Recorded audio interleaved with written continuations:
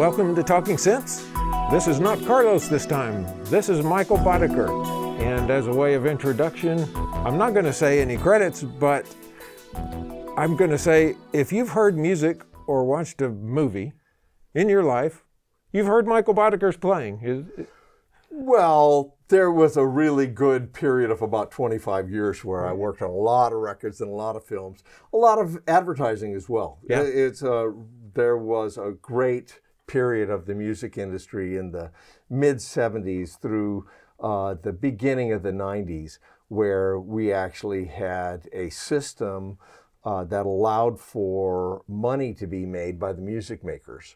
And Yeah, uh, that during nice. that during that period, uh, when we had budgets and stuff, uh, you know, we had big orchestras working all the time, and uh, lots of, of rhythm sections working all the time, and individual people uh, that were working all the time doing overdubs, and a lot of arrangers and a lot of composers, and and it's it's changed. But yeah, I had a good run, a really good run, and, and now.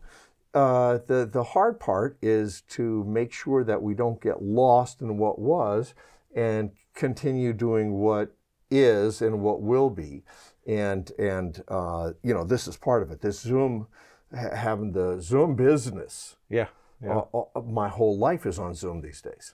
I'm on Zoom with Sweden, on Zoom with Berlin, uh, with Australia. We just have all over the world, uh, uh, Tokyo, uh, and uh, we spend all of our time doing that and sending audio files. Uh, via Dropbox and stuff, instead of being able to sit in a room with somebody and play and actually see if there's a physical reaction yeah. you know that's a that's that's if if anybody watching this has seen the SCL awards what's happening on on the award show is we asked the composer uh, a whole bunch of composers academy award winning composers uh, uh, what when do you know when a piece of music is finished and and they have to say when I finish used to be literally I could write a piece of advertising on a Tuesday and turn it in the following Tuesday and on the following Saturday. So within about 10, 11 days, I could go and sit in a movie theater and I could watch the audience react to it. Wow. You know, hard to do on Zoom. Yeah. Yeah. Yeah. So it, it's it's different. We we we've had a good run though. I'm very grateful. And But I'm- you're still running. I mean, we're, Oh, we're oh here yeah, we're still running. We're still, yeah, we're and and we had uh, Kris Bowers here yesterday playing for uh, Terence Blanchard, and Terence Blanchard sent me his trumpet tracks within an hour after we finished the basic track with Kris Bowers, and it's just you know yeah, it's just different. It's different. Yeah. You, you adapt. Yeah, yes, we do. But Yes, but you used the word retiring. But while we were chatting a minute, you don't look a bit retired. You, Oh no, you're no, still I- cranking it out. my my wife tells me that there's no place in the Bible where anybody retired, ever. That's, they, just, they just grow old, have more children, and raise more flocks. and so here I am flocking it out. So so one of the things that I most admired about you when when I was younger and playing keyboards and you were doing Michael Jackson and all that kind of stuff, you always nailed the sounds. You always got things exactly the way they ought to be. And I think you're you're really a programmer in addition to a player. Um, I always And- fought and so- that. I always fought that because people thought that that was uh, an engineering job, and and I have just immeasurable respect for engineers. Uh, you know, triple E's. Uh, you know, people like yourself who repair synthesizers. I mean, you, you're the lifeblood. It, with without you having uh, that service there, we would not be able to function as musicians. Uh, and and what makes you great at it is because you're a musician as well, and you understand, you get it, um, and you get the what what most engineers in computer sense don't get is that anything that takes you out of I want to do this musically. Mm-hmm. And if you have to go, okay, now I'm going to pull down a menu. I'm going to search through 85 names. Okay, this one, click, click, click, wait. Okay, all right, gone. It's gone. Yeah. It's gone. Yeah, the, the, the, the music making process can be as simplified as I sit at the piano, I close my eyes, I listen to what's going on in my head, and I play.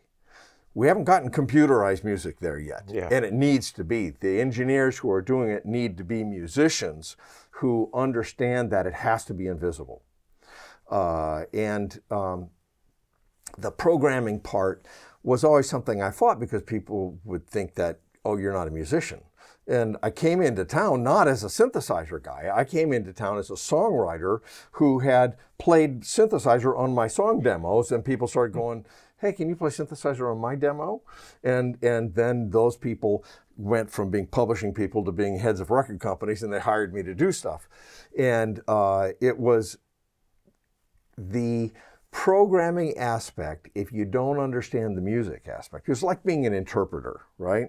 So well, you remember, you kids maybe watching this who are 20 and 30 years old might not know that 25, 30 years ago, people were still writing with pencils. Remember what it's, it's a piece of wood with a lead in the middle. It's a pencil and a piece of paper, not doing everything on a computer.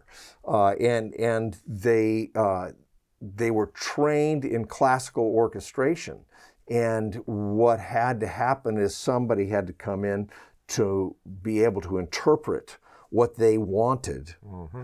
and, and be able to take classical orchestration and, and move it to what's a, possible with electronics. So John Barry, for instance, and I know I've told this story before, but John Barry, for instance, would just write a squiggle line over the top of a chart and and it would say eerie. And I'd have to go to the first violin. I have to look at what the first violin's playing, and I have to look over there at the, what the brass are doing, and I'd have to interpret what would fit, because you just uh, well, I didn't feel like I could just go okay over the whole thing blanket. And, and you are talking about interpreting on the synthesizer. Interpreting oh absolutely. That's what i yeah that's that was my axe. I, I was blessed enough to be first chair synthesizer here for about 25 years. And and it was it's it was very rewarding. I got to play with the best musicians ever the best musicians. People who you know they they at that point you you're playing your instrument uh, in a recording situation six nine 12 hours a day seven days a week uh, for you know 17 years straight. The the level of expertise was Yeah. incredible. It wasn't like it was, gee, I've never been in the studio before, but here, let me play. It was like, oh yeah, I know this. I've been under the same situation. It's been three till nine o'clock, or three till midnight rather, and I've got a hundred musicians sitting there, and I have to play my per- my solo perfectly, and no no sweat, no problem. I just do it you know, To- Tommy Tedesco's, Tim May's, uh, those, you know, Dennis Budimirs, those type of musicians, Yeah. um, Vince DeRosa's, uh, Malcolm McNab's, uh, Louise DiTullio's, uh, you know, those, those phenomenal soloists who were continually red light on, high pressure situation. This is going to live forever on screen or live forever on re- uh, record, and it's got to be perfect the first time you do it. And they No come problem. through. No Yeah. problem. No problem. That's what I do all day long. That's that's their attitude was I, I do that all day long. Wow. So and and the difference for me in that is, is that their instrument, the violin, when Sid Sharp would pick it up to play on a record date, it made the same sound it always made when he was four years old and started playing it. Mm-hmm. My synthesizer, every day, I had to reinvent it. You know, again, in the day that uh, that I started doing it, we had no presets. We didn't have presets until the uh, early '80s. Yeah. You know, uh, and and we just take um, uh, an analog synthesizer and turn the knobs and interpret it. And you talked about being a programming, you, you thought I always dialed in the sound, which thank you. That's very kind. Uh, you know, uh, there were always remarks made about how long it takes to get to that point where it's dialed in perfectly, but uh, the and whether or not it needs to change because you know to to do a filter whop whop whop whop whop and have an, uh, an envelope generator that's going dong dong dong at the beginning of it and being able to change change it while it performs it's always shifting it is a performance. The uh, people people think, oh no no, just set up a sound and let me play ding ding ding ding ding ding ding ding ding, and that's not the way a synthesizer ought to be played. It ought to be played like a guitar, where it has inflections and slides and bends and and you know uh, and in order to get all that, you have to spend some time and you have to continue to manipulate while it's being performed. And uh, then when you have to invent your instrument every day, the key point that I think made a difference in my career was that I did it with the track. Now, people who have designed most computer synthesizers don't allow you to manipulate things while the computer is going. Used to be if if if I wanted to patch something or turn a knob or do whatever, I could do it while the track was going. And I could see. I didn't have to stop the track, make the adjustment, then roll the track and then see. I could build while the track was going. And that was, I think, a key to my success. I had other people who always used headphones. Re- repatching like patch cables. Repatching, ca- turning knobs, patching ca- uh, cables, uh, changing uh, the the amount of instruments playing, changing the octaves of the instruments playing. You know, again, in the day that that I'm talking about, that you're talking about, that era of of great music in Los Angeles, uh, I had at least 60 synthesizers that were up and running on a rig, right? And I could take my finger and go across a MIDI patcher and have all of them come up. Oh, I want to change the, the controller keyboard. And they're all changed. I didn't have to pull down a menu. I didn't have to build four tracks with eight instruments each on them. You know, it's that's insane. We're starting to get to there. You're seeing people build programs that have stacks of instruments in them that you can save those stacks of instruments. So you say a string sound mm-hmm. might take. I once had on Milo and Otis, I had 127 instruments playing live off of a MIDI cable, off of a, a Mac SE, right? And and um, off the little green screen like Yeah, that. yeah. And uh, you, you that ability since it's moved to the box has pretty much gone away. Unless you're a guy who sets up five PCs and then has all these templates that some assistant sets up for you, it's not possible to create on the fly as easily. Now, you know, you look at Hans Zimmer, he's phenomenal. And and but he's got an army that does this stuff with him. And he can he can imagine things and go, you know, here. And he builds things from scratch. He's phenomenal. And a pheno- he was always a phenomenally gifted synthesist. Um, for me in that day, uh, I would have to I, I would listen on the headphones and listen to the music and uh, manipulate to the music.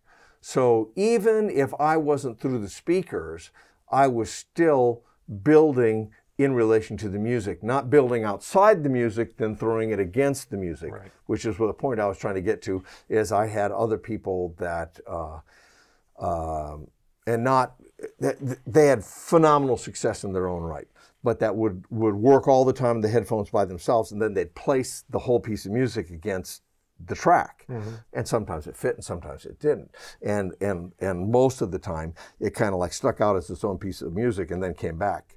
And and my my approach was always no i'm a member of a band and that's that's been my approach in life. I want to be a member of a band.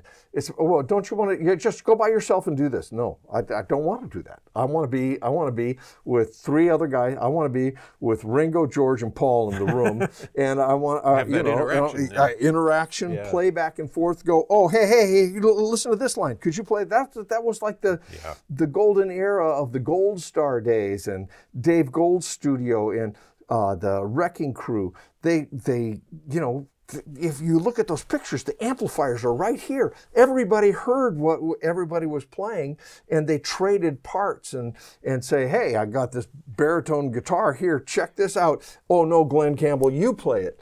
And and and uh, and Carol Kaye, who was a guitar player, would pick up the bass and play.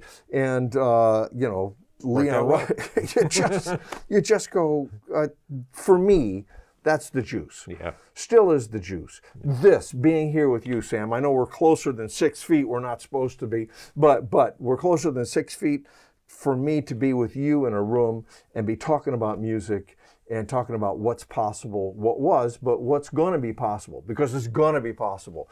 We're going to get electronic music back to the place where it actually makes sense for musicians instead of for engineers. Yeah, exactly. And and again, I don't mean bad engineers. I mean the people who have the brains that can wrap their head around code, which is great. But, But, not if necessarily music. well, yeah, if they don't if they don't have musical training, then they should be doing that for somebody else. Yeah. You know, I, we we got to get the musicians in there designing this stuff for musicians. And, and understanding really what it is that we do, not going, oh, I, I have a, a song that I'm writing, I can play a piano part. I mean, you know, it, it, any intro on any uh, any piece of music now has got more than just a piano part on that piano part, you know, and and whether or not it has to happen post the playing of the part where you redo and redo and redo and redo until you get something right, or uh, get something that you like and fits, or whether or not it could actually happen. No, that's life. I, I, I had a guy here, Johnny McDaid from the Snow Patrol.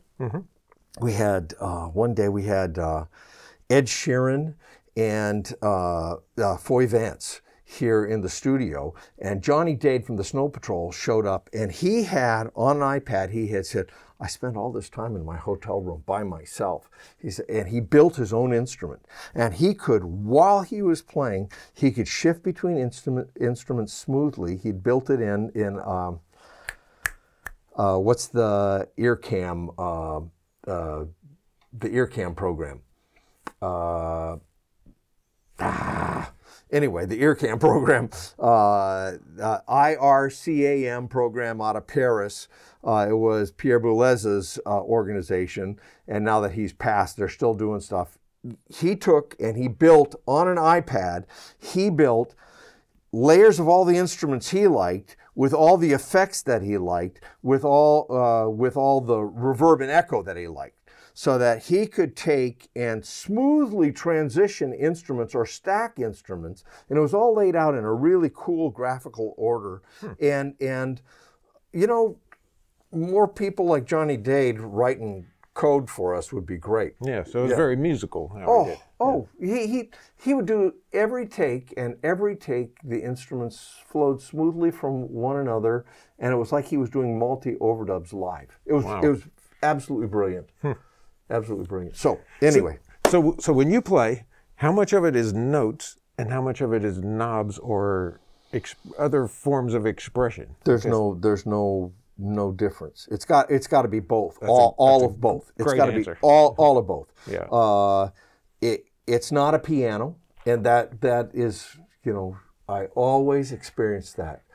Whenever say we'd be, be on a, a session, and you'd have people who are trained piano players, phenomenal piano players with repertoires and experience, Mm-hmm. all this. And they'd be asked to play uh, a B three, It's totally different, isn't it? Oh, totally different. I've To- been there. yeah, totally different. So, so you put them on a synthesizer, and again, these uh, most people who are trained classically on a keyboard, again, it makes the same noise every day.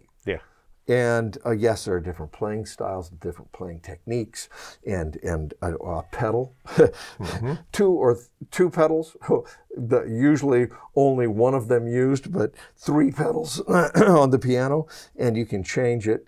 Uh, you can reach up and, and dampen the string, uh, but it's still the, generally the same noise. When when uh, you play a synthesizer and you're creating and even in the old day, you had to even take into effect that there was a delay. So in the emulator, when you put in a sound that had a slower attack on it, you'd have to anticipate, like a pipe organist, Yeah. where the groove was going to be, so that you're at the sound is actually playing like it's in time, but you're playing way ahead. Yeah. You can't quantize that. Yeah, you, you can't quantize it. That's exactly right, Sam.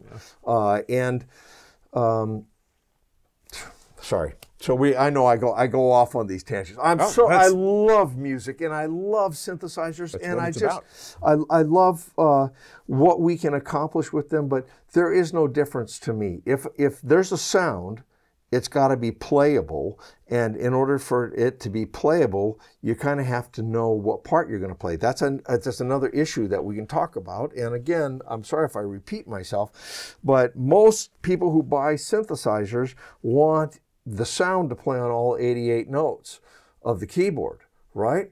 And and that's not the way sounds work. Oboes do not play on all 88 notes of the keyboard. You have to, yeah, you can switch over to a bassoon at the low end, but and maybe whatever a penny whistle or whatever at the top, but you can't, you can't. Uh, that's it's not realistic the way Right. music works. If I, if I used to get a sound and it would work on uh, uh,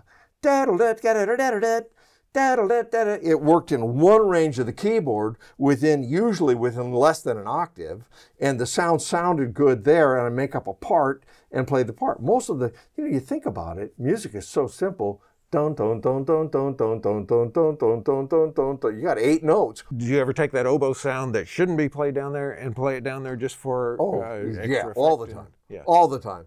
Uh, make make something new out of it. Yeah, you know, uh, again on the like on it was actually I think the sound designer got I just learned the sound designer on uh, Hunt for Red October got an Academy Award and what he had done is take one of my sounds out of the musical track the conk conk and, and uh, uh, that and he cut it out of the track and used it all over the film. Uh, and and that was just like bloop bloop big on the music paper and I had taken uh, uh, Grand Casas and uh, put them down two octaves, taking a piano, uh, remember the MKS 20, those Roland pianos? Right, right. Take it, that sounds great down two octaves from where it's supposed to be played. And, and, uh, you know, uh, times, times, times, times, times with, with like a, a, a a box of junk being dropped, like a Harry Partch kind of sound. Yeah, yeah. You know, just a, and and and I take e- there were eleven sounds on that. You know, you stack them up, and again, like I I did it with an orchestra with okay, all right, everybody, we're gonna roll for a take. You know, like that. I have time to pull down menus Yeah. and do this. You're pushing buttons like this and reaching and turning knobs and sitting there and playing your part, just like a guy who picks up his violin or his flute, her flute, and and plays. Sorry to be sexist in that. No, no offense meant to anybody. You know, uh, I just happen to be blessed to work with Louise DiTullio all the time, and she, on those John Barry things, you go back and you listen to those film scores. Yeah, it's that singular flute would just fill up the entire scoring stage. It's just it was just fantastic. Yeah. So. Um, yeah, uh, it's it was it was it is. We're getting there. We're inching forward. Uh, people are starting to understand that uh, a millisecond delay is not acceptable. You know, I used to sit with Jeff Porcaro in a room and uh, and and move a sequencer with a Dr. Click, you know, in the uh, in the Russian Dragon. You could move it uh, because you delay the click one beat, so you could put things ahead. Right. And and you would uh, I, he could hear a half he could hear a half a millisecond if I changed it a half a millisecond. He could hear it. He could tell whether it felt in the pocket, ahead of the pocket, behind the pocket, and a half millisecond. And, and we get into engineers who think, oh, it can shift. You can play a sound and it could be 7 to 11 milliseconds, varying. You know, which, oh, you can't hear that, Michael. Yeah, but I can feel it. Everybody can feel it. Yeah, there's a lot of perception issues. Oh, it's And, uh, incredible. Carlos and I were talking before we came, and he said, "Well, ask him about perception stuff." And it reminded me of something that uh, the late Rupert Neve said that really fascinated me. him. He he talked about sounds that were so high that you know they're way above 20k, so you couldn't hear them. But when they interact, you could perceive things from that interaction And so it was important to have those frequencies. Dennis Sands, one of the greatest mixers we've ever had in LA, still he uses an analog console. He uses a digitally controlled analog console. He mm-hmm. won't go to an all digital console because they brick wall it at 20k. Right. He still wants all the air of all the instruments, and and he's even mixing Atmos through an analog console.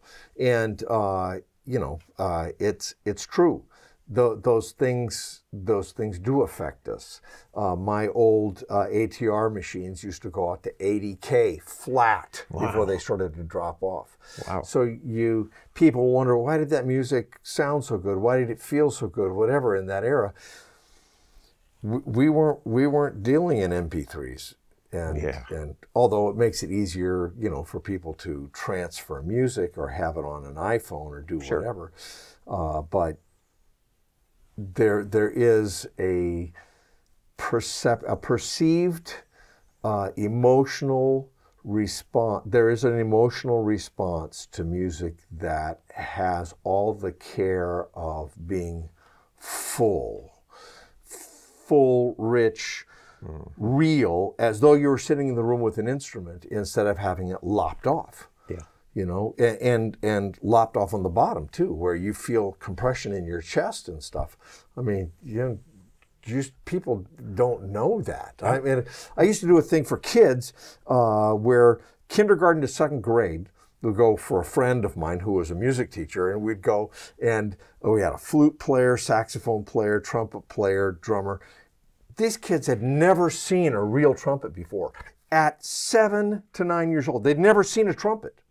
I, I can't even imagine it. But seven to nine years old, never seen a trumpet, surprised at all the different things it could do. You know, it's just not a sample like da or da da da da da da da da da da da da da da. Not like that, but like making it whinny, making it talk, ma- making it you know laugh. All the things you can do. You, I, I'm working on this thing with Terence Blanchard. Oh my word, he it you can't play it on a synth you can't play it on a keyboard Right, right. he bends he he comes into it he bends up to the note slowly he falls off of the note he twists and turns and slides between and and that's a real instrument Yeah. And, and, being intimate with that instrument and knowing it so well. Yeah. he's just fabulous. And and when you're in the room and you can feel all of you know e- even like i said the compression even the low end the thump you're not going to get it over your phone. You're not going to get it. I feel sorry for my daughter who grew up listening to MP3s and your daughter didn't, didn't take out your old record player and put it in a room you, you know I I could go in my studio and, and put on like Steely Dan Aja record or something, one of those that is so well recorded, and just play it, and and it'll bring tears to my eyes. It just sounds so good. Oh, yeah. And then the kids are used to hearing MP3s, and it's like, oh, I feel sorry for you. and they cared so much in those days uh, Yeah. uh, that's roger nichols Yeah. Yeah. Yeah, uh, and Roger Nichols was just, you know, the the amount of effort he put into making those records pristine. And Donald Fagen too. And Donald- oh, yeah, yeah, legendary. Oh yeah, yeah, and and Walter Becker. Yeah. come on, that was a team. They had a team of guys. It was phenomenal. Yeah. yeah. So, uh, what else? What, can we talk about, Sam? We could talk for days and days, but I, think know so. you got to get back to work, and Oh, it's boy. probably time for us to wrap up. So I'm so grateful for you doing this because I know you're really busy right now. It's Ah. it, it's a very busy time, and I have to focus. Like I got, I was I was on with Berlin with Hildur Gudnadottir, who is just phenomenal, at 9 a.m. and I was still here working on Terence and you know cutting the the oofs and the laughs and stuff out of Terence Blanchard, so that when he plays against Spike Lee, you can still hear what Spike Lee's playing and, and back and forth. And uh, that was at 1:30, and it's just going to be that Oh, way for a few days, and and it is what it is. I I I, I still I love this. I love what I do. I, love music. I love hearing love how you say that too. Uh, I, it I it comes across as We've been so you know, blessed. yeah. We've been so blessed to be able to, Sam, Yeah. in our lifetime, to be in this period. Uh, you know, it it is a people thing yeah, and and uh, your, the service that you provide to kids and people over, over, the, uh, over these videos is phenomenal. And, and you, what you're doing, helping them move past, I'm by myself in a room and I have, that's what I know, as opposed to when I grew up, you know, I'm playing with even sometimes 115 of the best musicians in the world. Yeah, it's, it's all day long, and you have you know you get interaction. You learn different things from different people, and you see how they handle different situations, even whether it's phone calls or dealing with my child broke their leg. Uh, you know, uh, in the middle of a, a, a recording session, you just you you watch, you learn. When you're by yourself in a room, it's hard. You're helping bridge that gap and, and thank and you very you much. You are as well. Thanks so much. Thank you, Michael. All right, Sam. God bless. Good to see you, man. All right. Thanks. And uh, if you like what you're seeing, press that subscribe button right down there. Thanks, everyone. We'll mod you later.